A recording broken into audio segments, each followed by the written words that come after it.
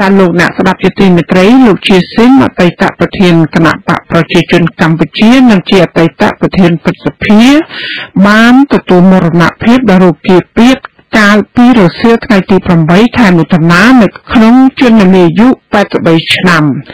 លោកគឺជាបរិវត្តនិងជាអ្នកនយោបាយជើងចាស់មួយរូបដែលបានឆ្លងកាត់សម័យកាលជាច្រើន គឺក្នុងនយោបាយនៅក្នុងប្រទេសកម្ពុជា ចាប់តាំងពីសម័យអាណានិគមនិយមបារាំងរហូតមកដល់បច្ចុប្បន្នតើលោកជាស៊ីនមានជីវប្រវត្តិបែបណាចាសសូមលោកនាងស្ដាប់ការរៀបរាប់របស់លោកជាងសុជាមេតាដូចតទៅឈ្មោះរបស់លោកជាស៊ីនត្រូវបានគេស្គាល់ជាទូទៅអស់រយៈពេលជិត40ឆ្នាំមកហើយនៅក្នុងឆាកនយោបាយកម្ពុជា ពូគឺចាប់តាំងពីថ្ងៃទី7មករាឆ្នាំ1979ថ្ងៃដែលកងទ័ពវៀតណាមចូលឈ្លានពានកម្ពុជាផ្ដួលរំលំរបបកម្ពុជាប្រជាធិបតេយ្យឬរបបខ្មែរក្រហមកើតនៅថ្ងៃទី15ខែវិច្ឆិកាឆ្នាំ1932ក្នុងត្រកូលកសិករនៅស្រុករមាសហែកខេត្តស្វាយរៀងលោកជាស៊ីមបានចូលរួមជាមួយចលនាតស៊ូមួយឈ្មោះថាចលនាខ្មែរអិសរៈនៅអាយុ15ឆ្នាំ ចលនាខ្មែរអិសរៈគឺជាចលនាខ្មែរកុម្មុយនីសបង្កើតឡើងនៅឆ្នាំ1951ក្រោមការដឹកនាំរបស់លោកសឿនងុកមិញហើយអាចារ្យមាន ដែលមានគោលដៅបណ្ដេញអាណានិគមនិយមបារាំងចេញពីប្រទេសកម្ពុជាលោកជាស៊ីមបានតស៊ូជាមួយចលនានេះរហូតដល់ឆ្នាំ1954គឺនៅពេលដែលបារាំងបញ្ចប់ការធ្វើអាណានិគមនិយមទាំងស្រុងនៅភូមិភាគឥណ្ឌូចិនបន្ទាប់ពីបានចុះកិច្ចព្រមព្រៀងលើសន្ធិសញ្ញាទីក្រុងហ្សឺណែវ នៅពេលក្រោយមកទៀតលោកជាស៊ីមដែលមានកម្រិតវប្បធម៌ត្រឹមពុទ្ធិកមធ្យមសិក្សាបានចូលរួមក្នុងចលនាតស៊ូជាមួយពួកខ្មែរក្រហមនៅឆ្នាំ1970បន្ទាប់ពីសម្ដេចព្រះនរោត្តមសីហនុដែលពេលនោះព្រះអង្គជាព្រះប្រមុខរដ្ឋត្រូវបានលោកសេនាប្រមុខលន់នល់និងបកពួកធ្វើរដ្ឋប្រហារទម្លាក់ពីតំណែងក្នុងពេលដែលព្រះអង្គកំពុងបំពេញបរិយាទស្សនកិច្ចទៅក្រៅប្រទេស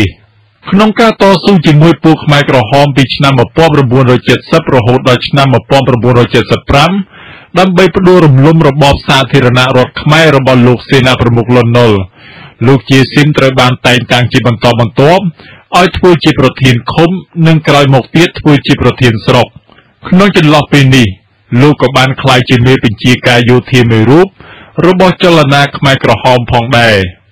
បន្ទាប់ពីកងទ័ពខ្មែរក្រហមបានទទួលជ័យជំនះលើកងទ័ពរបស់លោកសេនាប្រមុខលន់នល់នៅខែមេសាឆ្នាំ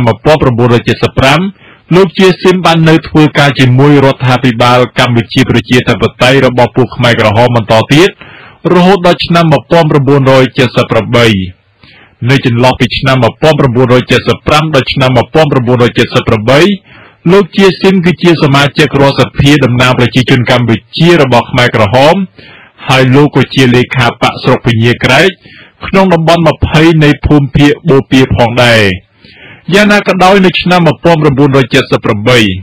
លោកជាស៊ីមរួមជាមួយប្រជាពលរដ្ឋនៅភូមិភាគបូព៌ាប្រមាណ300នាក់ផ្សេងទៀតបានរត់ទៅកាន់ប្រទេសវៀតណាម ដើម្បីគេចពីការតាមកម្ចាត់របស់កងទ័ពខ្មែរក្រហម គឺនៅប្រទេសវៀតណាមនេះហើយដែលលោកជាស៊ីមបានជួបជាមួយខ្មែរកុម្មុយនីរបស់ក្រុមលោកប៉ែនសវណ្ណ និងអតីតមន្ត្រីខ្មែរក្រហមផ្សេងទៀតដូចជាលោកហេងសំរិន និងលោកហ៊ុនសែនជាដើមក្រោយមកពួកគេបានរួមគ្នាបង្កើតចលនាតស៊ូមួយឈ្មោះថារណសេរសាមគ្គីសង្គ្រោះជាតិកម្ពុជា នៅថ្ងៃទី2ខែធ្នូឆ្នាំ1978ចលនានេះមានគោលដៅវាផ្ដួលរំលំរបបខ្មែរក្រហមនៅកម្ពុជាដោយមានការជួយឧបត្ថម្ភគាំទ្ររបស់ប្រទេសវៀតណាមក្នុងពេលនោះ លោកជាស៊ីនត្រូវបានគេតែងតាំងឲ្យធ្វើជាអនុប្រធាននៃរណសេរលោកហេងសំរិនជាប្រធានរណសេរ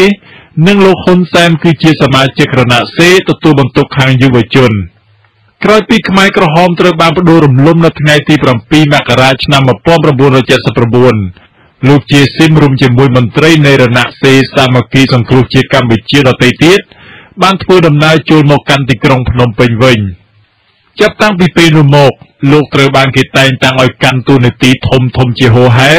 ក្នុងជួររដ្ឋាភិបាលថ្មីដែលវៀតណាមទើបបានលើកបន្ទប់ឡើង ជារួមក្នុងរយៈពេល36ឆ្នាំពីឆ្នាំ1979រហូតដល់លោកទទួលមរណភាព នៅថ្ងៃទី8មិថុនាឆ្នាំ2015លោកជាស៊ីមបានកាន់តំណែងសំខាន់សំខាន់ជាច្រើន លោកបានធ្វើជារដ្ឋមន្ត្រីក្រសួងមហាផ្ទៃជាតំណាងរាស្ត្រជាប្រធានរដ្ឋសភា ជាប្រធានគណៈបកប្រជាជនកម្ពុជានិងបានក្លាយជាប្រធានប្រសិទ្ធិដែលមានតួនាទីជាប្រមុខរដ្ឋស្ដីទីចាប់ពីឆ្នាំ1999មកក្រៅពីនេះលោកក៏ត្រូវបានអតីតព្រះមហាក្សត្រខ្មែរព្រះបាទសម្ដេចព្រះនរោត្តមសីហនុថ្វាយព្រះបរមងារជាសម្ដេចនៅឆ្នាំ1993និងត្រូវបានសម្ដេចព្រះបរមនាថនរោត្តមសីហមុនី ថ្វាយព្រះបរមងារជាសម្ដេចអគ្គមហាធម្មពោធិសាល នៅឆ្នាំ2007ផងដែរលើពីនេះលោកក៏បានទទួលសញ្ញាបត្របណ្ឌិតកិត្តិយសនិងគ្រឿងអេសរិយយសជាច្រើនផ្សេងទៀតរដ្ឋាភិបាលនិងគណៈបកប្រជាជនកម្ពុជាចាត់ទុកមរណភាពរបស់លោកជាស៊ីននៅពេលនេះថាជាការបាត់បង់វីរៈជនដ៏ឆ្នើមមួយរូបដែលបានយកកម្លាំងកាយចិត្តនិងស្មារតី ចូលរួមដឹកនាំកម្លាំងតស៊ូរំដោះប្រទេសឲ្យរួចផុតពីរបបខ្មែរក្រហម និងបានរួមចំណែកយ៉ាងសំខាន់នៅក្នុងការកសាងសន្តិភាព ការពង្រឹងនីតិរដ្ឋលទ្ធិប្រជាធិបតេយ្យការគោរពសិទ្ធិមនុស្សនិងការកែតម្រង់លើគ្រប់វិស័យជាដើម ចំណែកអ្នកវិភាគព្រឹត្តិការណ៍នយោបាយកម្ពុជាវិញយល់ឃើញថាក្នុងនាមជាអ្នកនយោបាយម្នាក់លោកជាស៊ីនមិនសូវបានបន្សល់ទុកនៅកំហុសឆ្គងច្រើននោះទេ គេនៅចាំបានថាក្នុងពេលកម្ពុជាជាប់គាំងនយោបាយនៅក្រៅការបោះឆ្នោតជ្រើសតាំងតំណាងរាស្ត្រឆ្នាំ2003លោកនាយករដ្ឋមន្ត្រីហ៊ុនសែនបានជំរុញឲ្យមានការកែប្រែរដ្ឋធម្មនុញ្ញដោយបង្កើតនូវរដ្ឋធម្មនុញ្ញបន្ថែមមួយធានាឲ្យមានការបោះឆ្នោតជាកញ្ចប់ដើម្បីបង្កើតរដ្ឋាភិបាលថ្មី តាមរយៈការបោះឆ្នោតជ្រើសរើសថ្នាក់ដឹកនាំរដ្ឋសភា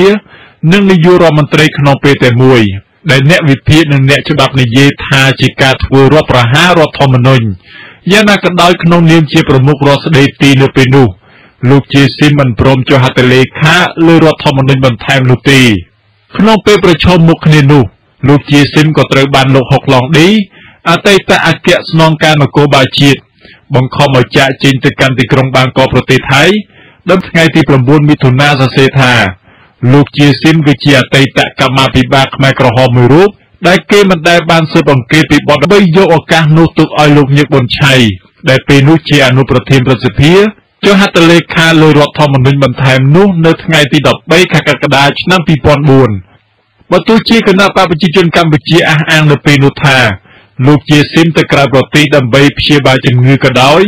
ប៉ុន្តែការចាកចេញរបស់លោកនៅពេលនោះ ត្រូវបានគេមើលឃើញថាជាការខ្វែងគំនិតគ្នារវាងលោកជាស៊ីមនិងលោកហ៊ុនសែនទោះជាយ៉ាងណាសម្រាប់អង្គការឃ្លាំមើលសិទ្ធិមនុស្សអន្តរជាតិ Human Rights Watch ចាត់ទុកមរណភាពរបស់ប្រធានគណៈបកប្រជាជនកម្ពុជាលោកជាស៊ីមថាជាការបង្ហាញភាពបរាជ័យរបស់សាលាក្តីខ្មែរក្រហមសេចក្តីថ្លែងការណ៍របស់អង្គការ Human Rights Watch ចេញផ្សាយនៅប្រក្រតអន្តរជាតិធ្ងន់ធ្ងរដែលអាចចោទប្រកាន់ពីបទប្រល័យពូជសាសន៍ និងអក្រិតកម្មប្រឆាំងមនុស្សជាតិក្នុងរបបខ្មែរក្រហមពីឆ្នាំ1975ដល់1979យ៉ាងណាក៏ដោយចុះចំពោះការបាត់បង់រូបលោកជាស៊ីមដែលជាប្រធានរបស់បកកណ្ដាលអំណាចយូរឆ្នាំនៅកម្ពុជាពេលនេះត្រូវបានអ្នកវិភាគមើលឃើញថានឹងមិនធ្វើឲ្យមានការប្រជែងអំណាចក្នុងជួរបកឬធ្វើឲ្យមានការប្រែប្រួលនយោបាយកម្ពុជានោះឡើយព្រោះថាគណៈបកកណ្ដាលអំណាចមួយនេះ បានត្រៀមអ្នកឡើងទទួលតំណែងបន្តរួចហើយលោកនាយករដ្ឋមន្ត្រីហ៊ុនសែនបានថ្លែងជាសាធារណៈកាលពីពេលថ្មីថ្មីនេះថា បន្ទាប់ពីលោកជាស៊ីមទៅ លោកនឹងឡើងធ្វើជាប្រធានគណៈបកប្រជាជនកម្ពុជា ដើម្បីដឹកនាំការងារគណៈបកបន្តទៀតបើនិយាយពីជីវិតគ្រួសារវិញលោកជាស៊ីមបានរៀបការជាមួយភរិយារបស់លោក គឺអ្នកស្រីពូក្នុងជួរយោធា ក្នុងរដ្ឋសភា និងក្នុងជួររដ្ឋាភិបាល គេពុំឃើញមាន កូនរបស់លោកជាស៊ីម